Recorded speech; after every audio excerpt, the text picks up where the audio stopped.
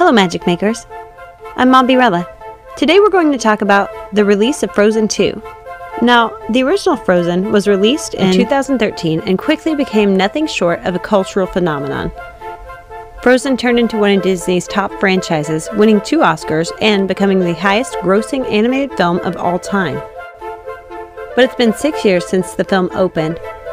The seven year olds dressed as Queen Elsa, belting out Let It Go, are 13 now and have most likely outgrown their costumes, and possibly Frozen itself. So, is it possible for Disney to reproduce the same magic with Frozen 2? Disney's projecting that Frozen 2 will have a domestic opening of around $100 million. It would be a bigger debut than the original, which made $93 million over the five day Thanksgiving holiday in 2013. It would also be the highest grossing opening ever for Walt Disney Animated Studios, which began producing films in 1937. The film made 8.5 million on Thursday night.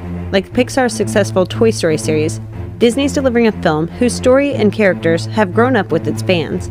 A lot of things have changed since Frozen set records for Disney.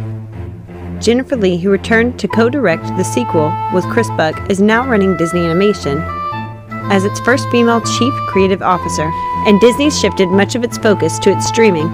But Change is one of the central themes of Frozen 2, and is something that the film's audience has likely experienced as well. Just like the audiences, Anna and Elsa are growing and maturing.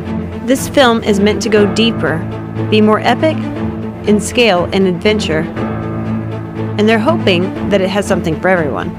Expectations are so high that anything short of soaring success could feel like a disappointment. Disney was wise to position the release one week before a major movie going holiday with Thanksgiving. Whereas most sequels would expect a sizable drop off after opening weekend, Frozen 2 could have long legs into December. If there's any downside, it's simply that, like any sequel to a phenomenon, it has an expectation to live up to that didn't exist for the original film's release. Have you seen Frozen 2 yet? Comment down below. Please remember to like, subscribe, ring that notification bell if you haven't yet, share with a friend.